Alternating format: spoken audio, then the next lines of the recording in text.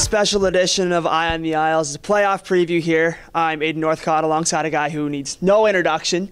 Uh, one of the voices of Fair Fort Isles Radio and Ocean 100 Saturday Night Hockey, Cory Arsenault. Cory, thanks for joining me here. Yeah, no, it's a pleasure to be here. Usually I'm the guy asking the questions, so it's uh, it's nice to uh, be on the other side of the, the coin.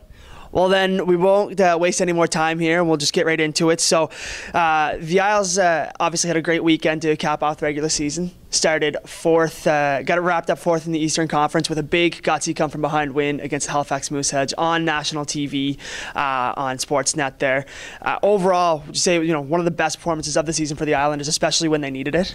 Yeah, I would think. I mean, uh, you know, destiny was in their own hands. Uh, the loss uh, Friday night against Moncton was a tough one. they had a tremendous start in that first period against Moncton. Then all of a sudden, the Wildcats turned it up a notch. The Islanders had opportunities on the power play, but uh, were unable to come through. But they were they were happy about their game on Friday night, and I think they carried some of those positives into the game in Halifax. Uh, not an easy place to win. Sold out crowd, ten thousand five hundred. National TV game. You need a point to play Cape Breton. You need two points for home ice, and uh, they didn't have a great start. It, they were down two nothing, ten minutes into the hockey game, and uh, a lot of scoreboard watching going on uh, from myself included, wondering uh, where we could end up here this weekend. But you know that second period, I'm not sure what was said during the first intermission but uh, Jim Hulton spun something off, and, and they came out and, and competed, and, and they took it to Halifax in that middle frame, and and then uh, you know were able to to take it to overtime, taking that penalty late. I'm thinking this is destiny. Uh, Halifax is going to score on the power play, and we're going to be on a bus going to Baie-Comeau. But uh, thankfully, Halifax played for that point. Two key face-off wins by Brett Budgell and Nikita Alexandrov to kill off that penalty late, and uh, a total team effort. But Matthew Welsh uh, was outstanding outstanding like he has been all season long. And he's a big part of why this team has been so successful. And uh, he's been our best player all year. And he certainly was on, on Saturday afternoon when the when the Islanders needed him the most. Yeah, no kidding. He was definitely uh, one of the best players. And as you mentioned, been the MVP for this team all season. And it's funny that you mentioned scoreboard watching. I know we were all doing it back here in Charlottetown too, watching that scoreboard, seeing who we were playing. And one of those teams we were watching, obviously, was the Cape Breton Screaming Eagles, who the Islanders will play in this first round. It's a team that uh, a bit of an easier schedule for them down the road, but ultimately won the games they needed to, uh, including two back-to-back victories against Bathurst here this week. Yeah, I mean everybody knew that. Uh, I think after we left Cape Breton uh, two weekends ago, that six points were were on their their plate for the taking. A game against St. Saint John and, and a game against Bathurst. And if you want to be playing some of your best hockey going into the playoffs, you better pick up those points. And they got the job done. Uh, the Islanders always knew all the way along that the back end of their schedule was going to be tough. But, uh, you know, the drive for fourth place really started at the Christmas trade deadline. Uh, you know, it made the, the regular season so exciting uh, for a lot of teams because it came down to that last game. But the job the players have done since coming in from the trade deadline uh, has been outstanding. You look at Jordan Maher, you look at uh, Xavier Bernard, two guys that left contending teams to come here to Charlottetown, and that's not an easy for any junior hockey player. Maher went through it last year with the Memorial Cup. There's a reason why these guys are at that level, and because they want to win. So when you're leaving a top team to come down to a team that's you know lower in, in the in the standings, uh, they took it like pros and they came out here. And hats off to those those two guys. Uh, the team didn't miss a beat. Actually, they played better after the trades were made for the first couple weeks. You know, there's peaks and valleys throughout every regular season, but at the end of the day, uh, it was the veterans that uh, you know really pulled the way here, and I thought Bernard was was terrific down the stretch, and, and Jordan Maher has just brought a consistent effort game in and game out. So you know, you look out through the second half of the season, the comeback win in Gatineau at the back end of three and three, when you give up a goal with a minute and a half to left, Lucas Cormier ties it up, then he wins it in overtime. Eh, you know, it's it's easy to look at the points that you gave away, but you got to look at the the wins and, and the way things were done. If the Islanders don't win uh, two games in Cape Breton two weekends ago, we're not even talking about home ice here right now. They're probably packing the bus to go to Quebec. So this team uh, pulled pulled it out all the way through, and, and, hats off. I mean, on paper, meat doesn't mean much once you get on the ice and you have that heart and determination. Uh, it goes a long way, and, and this team's been fun to watch here once again this season. And we'll obviously get into uh, Xavier Bernard and Jordan Maher and those guys uh, as we go along here. But we'll focus first uh, in Cape Breton and look at them offensively. They're led, uh, led by a guy that Islanders fans are pretty familiar with. He had another career year in goals coming off of a 42 goal performance last season, turned into 43 this year, finished the season with 82 points, leading the Cape Breton Screaming Eagles. Former Charlottetown Islander Mitchell Balmas. You know, he's the guy that probably stirs the drink there offensively for Cape Breton. No, 100%. A fantastic talent. Uh, former first round pick here in Charlottetown. Uh, the kid can score. That's all he's done all his life. Uh, great kid off the ice, first and foremost. And he's going to get his points. Uh, he's a tough guy to key in on. Uh, there's a reason why Cape Breton paid a hefty price for him because he's a premier sniper, not only in the Q, but in the Canadian Hockey League. Uh, he's a winner now as well uh, with the rings and the, the championship run last year with Bathurst. So he's a guy the Islanders definitely have to key in on. you know, this Cape Breton team's a little bit more veteran team. up front, you'd have have to give them the edge uh, with with talent up front. But talent only goes so far. Uh, you got to work hard, and this Islanders team works hard. But you look at Cape Breton, uh, you know Mitch Balmas, uh, Derek Gentile. We know what he's all about. Uh, he can put points up. Matthias Laferriere, St. Louis Blues pick. Uh, he's pretty crafty. Igor Sokolov, you know, he's a guy that when he's on, not many players can stop him. six foot four, 220 pounds, and then they got some real good depth guys. Shawn Boudrias's come in. you know, he, another former Islander when he gets things wound up. I know he's coming back from an injury. Uh, he has a chance to take a game over. Declan Smith is a guy that's been hurt as well, but uh, he has the ability to take over a game as well. He plays that uh, throwback old school. I love I love his game. I love what he brings to the table. He's a heart and soul type player in Cape Breton. So I mean, you look up and down throughout that lineup, pretty daunting. Uh, you know, then you got Ryan Francis and, and Brooklyn Kalmakoff, two of the top 17 year olds in the queue. Although Francis doesn't get the ice time uh, nearly as much as as what his skill skill probably should have. But you know, and then they got some key players, Isaiah Campbell. You know, they got a good team. But uh, the one thing that can neutralize them here in Charlottetown is the back end. The Islanders' back end is is very strong, one through six, and then uh, goaltending. Uh, nobody matches up like like Matthew Welsh does against any offense. All right, now looking at that uh, Islanders offense, we were led here in Charlottetown by another 20 year old ourselves, uh, another guy coming off of a career year, 34 goals, 44 assists. Uh, Daniel Hardy, big 20 year old year with 78 points. Uh, we talk about how Balma stirs the drink. You can say the same about Daniel Hardy here. Well, you're right. I think he's one of the more uh, underappreciated players in the Quebec Major Junior Hockey League. A great plus minus as well. Uh, he takes care of things on both ends of the ice. When Daniel Hardy's feet are moving, he's a terrific hockey player sniper. He went on a stretch there for about two and a half months where he was, you know, hanging with the big dogs. He was right there, just below goal scoring, and uh, a terrific pickup by Jim Hulton and, staff. And Daniel's a great guy too. I mean, uh, he has the ability to snipe, and when he's doing so, uh, the Islanders win. I think 10 power play goals on the season. So, you know, Daniel Hardy's going to have to have a big playoffs here for the Islanders moving forward. You got to lean on your 20 year olds. Daniel Hardy is is the top scorer, and he's going to have to be the top scorer. And you know, they need other guys to take the pressure off as well. Nikita Alexandrov, who went through a rough funk. Nice to see him score one in Halifax uh, on a goaltender here heading into the playoffs. I mean, he had a terrific uh, first half of the season. Uh, it's not easy to be consistent in major junior hockey, especially for, for younger players and especially in the draft here. Lots of pressure on them. Brett Budgell, 18 goals. I mean, everybody wanted more to Brett Budgell, but at the end of the day, 18 or, or 19 goals in and around that is, is a pretty good year for a 17 year old. Everybody thinks players can take that next step because of what we've seen in the playoffs last year. That's not how it works. Uh, you know, other teams start keying in on you more and more. So, you know, the Islanders have offense spread through the top six. Hopefully, Thomas Casey can get back to, to where he was before he went down with the injury. It was nice to see him get two games in before, but he wasn't quite at his peak level. When he's going, there's not many faster in the queue. Kevin Gursoy, they, they're going to need him to step up and play play some big minutes here as well. You know, up and down, but it's been the bottom six that have really helped the Islanders kind of solidify things. Zach Beauregard's turned into a, star here in Charlottetown, as far as we're concerned, with uh, his compete level and, and, effort. I mean, nobody works harder than Zach Beauregard on the ice. Cole Edwards has come to play. You know, these guys uh, up and down, Liam Payton. I mean, the list can go on and on. But for this Islanders team up front, they're going to need a full full team effort uh, in goal scoring up and down throughout the lineup. And this isn't a skilled team. Jim Hulton will tell you that right off the bat. They're going to have to go to the net, look for greasy goals. If they get into a skills competition with Cape Breton, it's not going to last very long.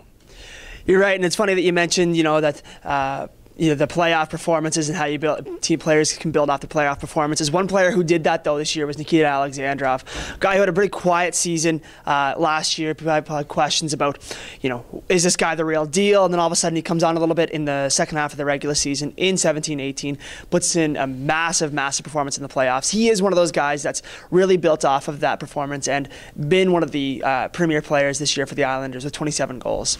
Well, he had a good summer, and uh, you know that's first and foremost. The hockey hockey season will end here in, in the near future, and it's what you do when you leave the rink that, that prepares you for the for the following season. And when Nikita came back, I seen him at Fox Meadow during the Islanders golf tournament. He didn't take part in the golf tournament, but he was sitting there and he had a big summer and uh, put on some some some muscle and, and leaned out. And you know, for any player coming into the league, uh, it takes 30 plus games to get accustomed. In the first half of the season last year wasn't a great one for Nikita Alexandrov. Then all of a sudden, he had a hat trick in Sherbrooke. Uh, he went home for home cooking, was able to reset, and he came back a different player. You know, and that goes for anybody, whether or not it's a European or rookie or free agent coming in. Yeah, very few step in and make an impact right off the bat. But uh, Nikita, you know, had the scouts flocking in here to Charlottetown. I'm sure uh, he probably wasn't uh, overly pleased with the last 15 or 16 games when he went on a bit of a goalless streak, but the shots were still there, the assists were still there. The puck just wasn't going in for him, and it's just a matter of time for for a skilled player like Nikita, and that's why I say it's nice to see him get that one. You could tell it was like a, a monkey lifted off his back when he scored that big goal against Alexis Gravel to tie the hockey game up at two and give the Islanders a fighting chance for home ice. So I mean, he's a key player. He has a chance to take over a game. He's going to have to be on top of his game here this weekend. And now looking at the back end, you mentioned how the Islanders might have the advantage here on the back end defensively, and that is led by another 20-year-old Hunter Drew, uh, second in the league among all defensemen in goals, uh, one of the top 10 defenders in points. He turned in probably one of his be- best performances of the season uh, against Halifax on Saturday. Yeah, Hunter Drew. I mean, uh, I love the guy. I know uh, a lot of people might be hard on him at, at times, but uh, he shows up he shows up to play and take Hunter Drew out of this team. It's a totally different uh, look on the back end. Keeps the opposition uh, very honest and 16 goals that's a pretty good uh, season. I mean, uh, he competes uh, shift in and shift out. He's going to turn pucks over. Everybody's going to turn pucks over. It's a matter of uh, you know being smart with the puck, and and you know Hunter sometimes tries to get a little fancy, but uh, you know when when when it's time to go, he's going to be there. I got no no qualms about where Hunter Drew will be here in this playoff series. I mean, uh, the poster child for free agents coming here to Charlottetown. Talk about second opportunities, came down, made the most of it. Two years ago, he wasn't even playing at this time.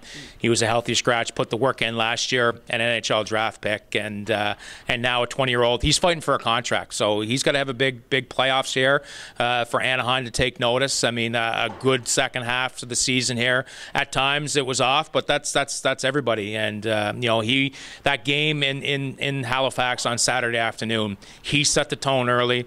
Durandeau, Asselin, he just gave it to them every shift. I mean, every shift, every shift, physical tone. He has the ability to be very effective, and, and the Islanders, they'll need him uh, leading the charge on the back end.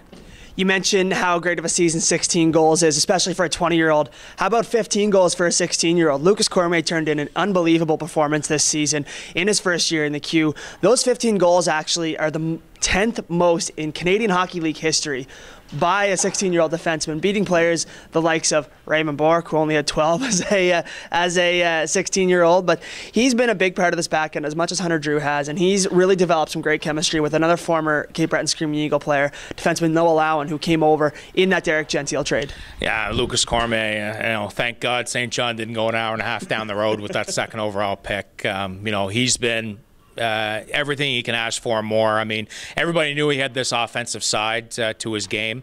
Uh, but I don't think anybody knew it was going to come this early. Uh, you know, he's a guy that at times, you know, he could he could run the power play for a full two minutes. Uh, he takes a pounding out there, but uh, his defensive play is, is what impressed me uh, more than than his offensive side. We knew about his offensive side, and you're right, 15 goals is is nothing to sneeze at. I mean, you're talking, uh, you know, up there and in the record books, and he could have had 20 easily here. I mean, the one thing about Cormier, you watch him play, rarely does a shot get blocked. He lets it go. He finds the lane. It's always about, you know, 24 inches off the ice, so it's not hitting a skate or a stick on the way through. His hockey IQ is off the charts, but he competes defensively. And you know, when I first keyed in on him was uh, when Rimouski was in town and uh, Alexis Lafreniere was coming in one on one. And you're talking about one of the best players in Canada. And Cormier, with his, his active stick and his, his foot movement, was able to stay with him and not give up an inch. So I mean, he's a guy that uh, goes into the corner. He'll battle. You know, size isn't an issue with him because he doesn't play like he's five foot uh, uh, eight. He plays like he's he's six feet, and he can he can withstand the rigors of, of the physical play. And no allowance come in. What a what a great uh, pickup he has been. I mean, he just kind of solidifies that back end with with Cormier. And I mean, this is the future uh, on the back end. This back end, most of it's coming back next year, for the exception of of Hunter Drew. But Cormier and Laaouan have been a treat to watch. And and you know, no one talks about Brendan Clavel and what he brings to the table. He was outstanding. He's uh, a leader on this team. Blocks shots, does a lot of little things that don't get noticed. He doesn't put up the points, but he's one of the guys that you know when you're trying to kill a penalty, when you're trying to win a hockey game late, he's the guy that's going to win you games. And then and then you know you go by that, you got the luxury of having Xavier Bernard on your third pairing, and he's kind of played with a different partner in and out here. But uh, you know, over the last three weeks, Bernard uh, has really, really elevated his game, and he looks like an NHL pick out there. And that's the luxury of having a deep back end is having a guy like Bernard paired up with either Dirsch or, or Vanden Hurk. So you know, this Islanders back end moving forward is as offensive as Cape Breton is. The back end, if they can keep things uh, simple and moving pucks out and, and you know playing smart in their back end, uh, I like the matchup. And now looking at Cape Breton's back end, they're obviously led to by uh, another guy who had some pretty gaudy goal totals. Leon Gawanke led the league among all defensemen, 17 goals, uh, 57 points this year, third among all defensemen. Uh, we talk about you know how strong and how your best defenseman need to be your best defenseman. He's going to need to be that here for uh, for Cape Breton in the wake of uh, potentially some pretty uh, pretty crucial injuries. Well, you're right. Antoine Crête-Belzile is, is their is their number one guy. I mean, Gavanke's there, but they they play uh, A ton. He's important to that team, and he's out with an injury. He didn't play down the regular season, so it'll be interesting to see. If they're missing him, it's a totally different ball game on the back end for Cape Breton. But Gawanke's a guy, fourth round pick, Winnipeg Jets. I mean, uh, the makeup is there for a pro hockey player, and he can skate, and he can wheel, he can do a little bit of everything, but he needs some support, and uh, Crête-Belzile provides that support. If he's not there to support him, then all of a sudden things get a little thin on the back end. But they got guys that can step up as well. I mean, uh, you go through their back end and, and, and take a look around and, and see what they have. Uh, they go out and get a guy like LaRose. They go out and get Sandilands. These are, are, grit and sandpaper type guys that I think will elevate their game come playoff time. But Crête-Belzile is the key here, uh, you know, for this Cape Breton team. Havleen as a guy that has some has some grit in his game as well. But uh, if Crête-Belzile is missing, and I'm sure he'll, I'm sure he'll probably be, should be in the lineup. The Islanders will have to try to key in on him, and anytime you get a chance to finish a check, you want to play physical on both uh, any of their back end. You want to get in, get pucks deep, get in on the forecheck, and that's when pucks start to get turned over if they start to feel the pressure. But uh, Gawanke is a guy that's going to see a, a ton of ice time, but Crête-Belzile is, is the key here for the Screaming Eagles in this series. And now you talk about injuries. We mentioned Crête-Belzile. Uh, the Screaming Eagles obviously dealing with a couple other key injuries. You mentioned it earlier.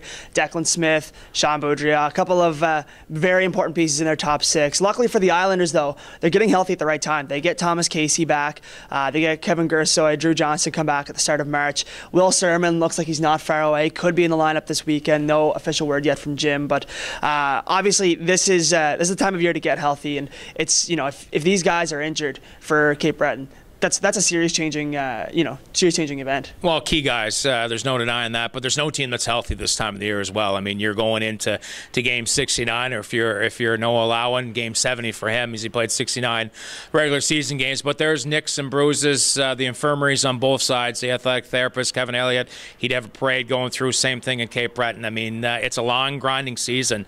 There's bumps and bruises, and now all of a sudden the intensity gets ratcheted up here uh, half a dozen notches. So uh, you know, if you're bumps and bruises, that's not going to heal. It's time for the adrenaline to take over. And, and, you're right on the Islander side. It's nice to see Thomas Casey back. I mean, such a key part of this team here. Uh, terrific uh, second year here with, with the Islanders. And then you look at uh, a guy like Will Sermon. You know, he's a he's a, a character piece, a piece of the puzzle that you can trust, lean on. He was playing good hockey before he went down with that injury. But I know I talked to him in Halifax. He's hoping to be to be ready to go this weekend, and if not, sometime in this series. And then on the Cape Breton side, I mean, Boudrias returned to the lineup, so sounds like uh, he'll play, but uh, the other two would be Smith and, and Belzile and, and huge parts of their team.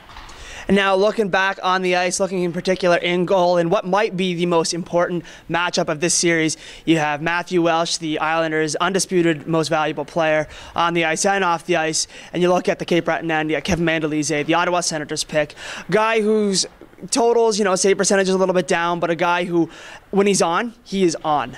Yeah, you know, I, I'm, I'm waiting for him to, to string it together with some consistency. And, uh, you know, when I first seen this kid come in at 16 years old, I'm thinking this could be a second round pick in the NHL. I mean, you talk about size, athleticism, uh, you know, he's got the skill he's got it all, but it's about putting it together. And Matthew Welsh has found how to put it together, and he's had it together for a long time. I mean, uh, the consistent play of Matthew Welsh is is uh, second to none. I mean, uh, we've had some great goaltenders here in Charlottetown. Uh, I've been here since year one. Some real good goaltenders. Some on the wall here behind us: uh, Antoine Bibeau, Ryan, Mo- Ryan Muir, Evan Mosier, Bobby Nadeau, Max Legacy. Uh, you know, the list goes on and on, but none of them have been the Mason McDonald. None of them have been at this level of, of Matthew Welsh. And, you know, it started in the summer for him to be identified by Hockey Canada as one of uh, the four top goaltenders for his age.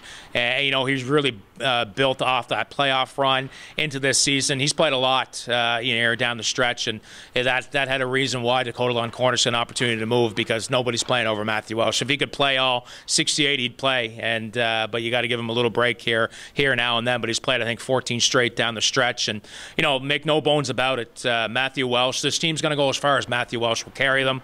We know his shoulders are strong. He took uh, the Islanders on quite a run last year, and I know he's certainly up to the task again this year. And on the opposite side of things, you know, Mandolese has, has yet to prove himself. So it's a big playoff series for him. Uh, you know, he has the ability, the size, but, you know, with, with the win two weekends ago, Mandolese and both games, uh, the Islanders have to be feeling good about themselves and their games against Mandolese here this year.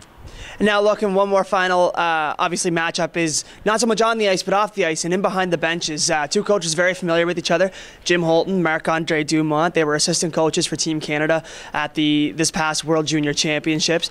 Uh, obviously, we talk here in Charlottetown in particular just about how important Jim Hulton's been to this team and how he's gotten the most out of his uh, players on the ice. Uh, this is a matchup here that is going to go fly under the radar, but the way that the, these two coaches utilize their talent and utilize the players to their best advantage is going to be something to watch. Well, yeah, you're right. And, and, you know, Jim, everybody knows the job that he's done here in Charlottetown, except maybe the people handing out the awards. But, uh, you know, he's been fantastic. He's he's taken a team that probably shouldn't peak to where, where it's gone and been able to get it to the next level. And that's a sign of uh, a real good coach. Uh, you know, uh, shrewd trades. I mean, uh, not many teams sold their three best players and still ended up with 40 wins and home ice advantage. So that speaks, uh, you know, numbers for itself. I mean, he's got a good support staff around him as well. And, and Jim doesn't like the spotlight, but uh, he's done a terrific job here in Charlottetown. You know, and then Marc Andre, I like Marc Andre. He's a, a former media guy. He's great uh, with the media out there. He, you know, he's he's he's more than willing to to share his time with you, but he's under under some pressure in Cape Breton. Uh, the last two years, Cape Breton sold the best player in the league, Dubois and Batherson, and their patient, their fans are going a little bit patient over there. New ownership in here as well. I mean, you don't like to say he's coaching for his job, but uh, we've seen what happened to Jim Midgley last year with expectations. There's those same type of expectations on the Cape Breton side. So, you know, Marc Andre Dumas has some work to do. He, he made some key moves to bring guys in. Now it's whether or not they respond to, to what uh, he wants to get done. But, uh, you know, a key matchup. And, you know, one thing about Jim and coaching staff, it's their, their ability to, to adjust to the things uh, in game. Uh, you can really notice from off the ice, and, you know, they'll be prepared. Uh, there won't be a, a, team that's better prepared than the Islanders going in. And uh, for Marc Andre, he's, he's scratching here, trying to get by. he definitely needs a series win to, to keep moving on. And we'll wait and see how the cards play out. But, you know, Jim's proved it time and time again again, he's taken the team to the second round the last four years. The only team uh, in the Quebec Major Junior Hockey League to have that feat, and for a for a franchise and organization that struggled for for so long. And I know because I've been here since year one. It's certainly been uh, a pleasure and a treat to watch, and looking for more of the same here. Uh, this this kick at the can. Yeah, you mentioned Jim Hulton and about how important he's been to this team. Four times in the PEI Rocket and Charlottetown Islanders history have they achieved 40 wins in the regular season. Jim Hulton's been behind the bench for two of those runs. So now wrapping up here, Cory, uh, we've talked all about you know the offense, the defense, behind the bench, in net What are the keys to success for the Islanders to move on in round one? Well, I mean, uh, it's it's an old uh, adage, but special teams and goaltending, and it's not rocket science. And the other thing is, you know, home ice. You got to take advantage of the last change and set the tone here early. Uh, you know, the Islanders are going to need uh, not just one guy. I mean, obviously Matt Welsh is the guy, but they're going to need everybody pulling here. I mean, this Cape Breton team is is stacked up on paper, and uh, you know they're chomping at the bit and ready to go. They're beatable but uh, you better be be on top of your game and you know playing whistle to whistle, taking care of the, of the details and, and, puck management. But uh, they're going to need a full team effort. You take shifts off uh, anytime in the regular season. If you take them off in the playoffs, it's going to be tough to win. And I'm, I'm excited. I mean, I think this is this is the matchup the Islanders were looking for. This is uh, uh, an opponent that the Islanders I think can can handle, not with ease, but they can handle. The regular season has showed it. I think the confidence of winning two over in Cape Breton two weekends ago, uh, you know, will go a long way in that room to knowing that they can get it done on the road.